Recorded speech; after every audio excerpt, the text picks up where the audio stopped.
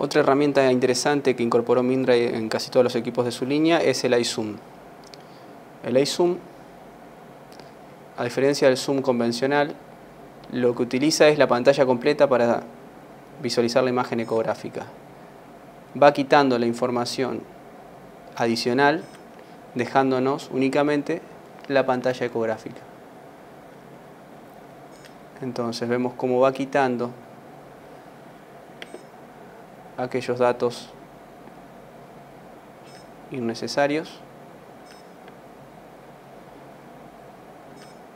dejándonos solo con lo que es importante. Esto es interesante porque funciona en todos los modos, inclusive con el 4D.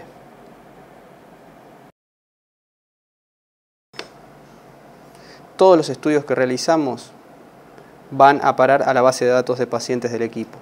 ¿Cómo accedemos a la misma?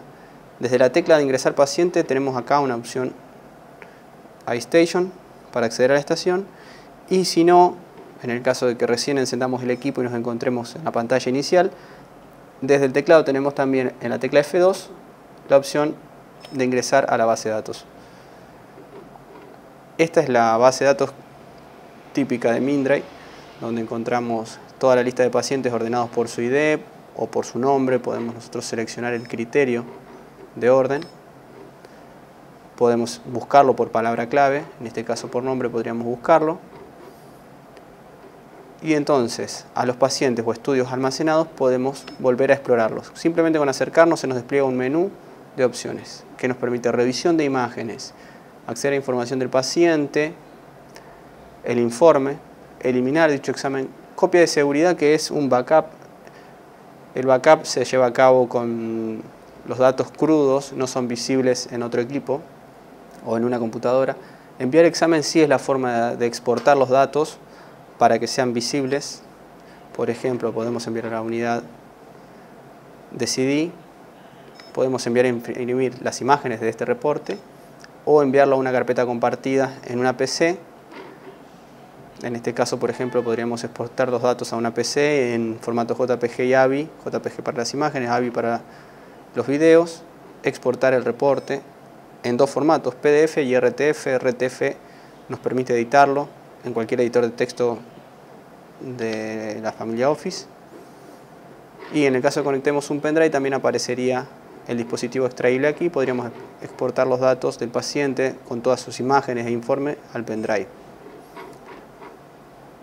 Por último, podemos exportar los datos pero sin la información del paciente para una presentación, por ejemplo. Y aquí al final vemos activar examen. Activar examen aparece en este paciente porque fue el que realizamos recién y pasaron menos de 24 horas desde el inicio del estudio. A diferencia de ese paciente, si, si vemos pacientes realizados con anterioridad, ya después de las 24 horas no podemos activar el examen. ¿Qué significa que no podemos activarlo? Es que no podemos realizar mediciones y que sean almacenadas dentro de la misma eh, sesión del estudio, pero sí podemos revisar todas sus imágenes, por ejemplo, este paciente que está almacenado, vamos a poder revisar todas las imágenes, podemos seleccionar la imagen en cuestión, podemos volver a medir sobre una imagen guardada, y podemos volver a almacenar esa foto. Con la diferencia que estas modificaciones que hagamos se van a guardar con la fecha actual al finalizar el examen.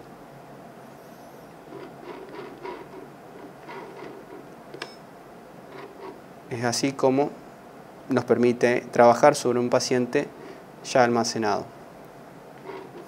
También podemos acceder desde el pie de la pantalla donde previsualizamos las imágenes guardadas del paciente. Acá, por ejemplo, podemos ver el video. Si hago doble clic en set, activo nuevamente el examen y puedo rever el CineLoop de este paciente. También accedo otra vez a la tecla Review y puedo ver todas las imágenes de ese paciente. La posibilidad de postprocesamiento es enorme en el equipo, nos ofrece una gran variedad de, de herramientas. Es más, podemos ver que sobre un Cineloop guardado podemos ajustar la línea de base. Podemos volver a analizar en pantalla dividida.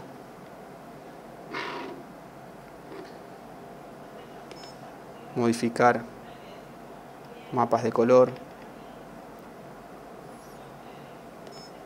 y demás variables asociadas a la imagen almacenada.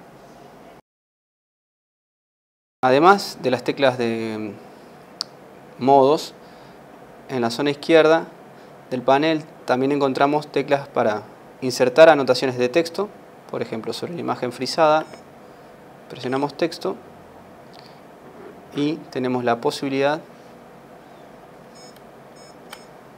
de ingresar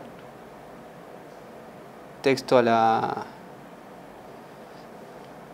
a la pantalla o también ingresar textos predefinidos al desplegar el menú también haciendo clic con set sobre el texto en cuestión podemos desplazarlo y ubicarlo donde queramos. Debajo de la tecla texto tenemos la tecla clear. Clear va a eliminar de a una las últimas anotaciones que hayamos hecho. También va a eliminar, en el caso de que hagamos mediciones con un caliper, por ejemplo, voy a agregar tres calipers. Va a eliminar las misiones con caliper. Y también a la derecha de Clear encontramos las marcas corporales, marcas o referencias corporales. Girando la perilla vemos que podemos seleccionar la referencia corporal y ubicarla al pie de la imagen.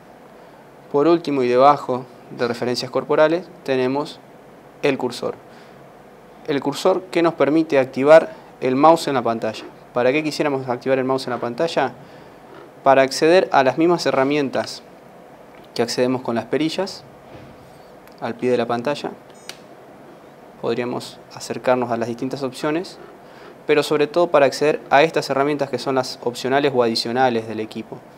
En este caso, como estoy trabajando con el transductor lineal, la, única herramienta activa es el Power Angio o el Doppler,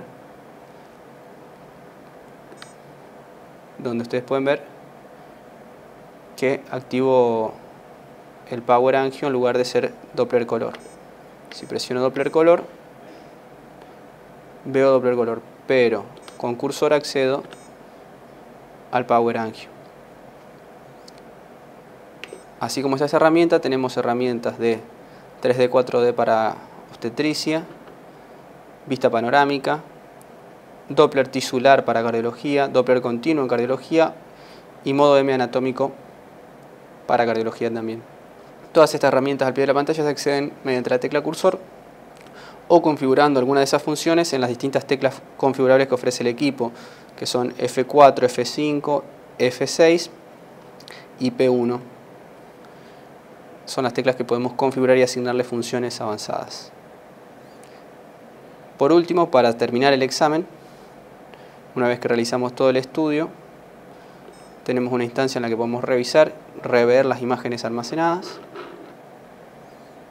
Si nos interesa, podemos ingresar otra vez a un CineLoop almacenado, trabajar sobre el mismo, acceder a las mediciones sobre el mismo y si terminamos la etapa de revisión, para asegurarnos que los datos queden guardados, presionando la tecla End Exam, nos va a preguntar si estamos seguros y ahí finalizaríamos el estudio.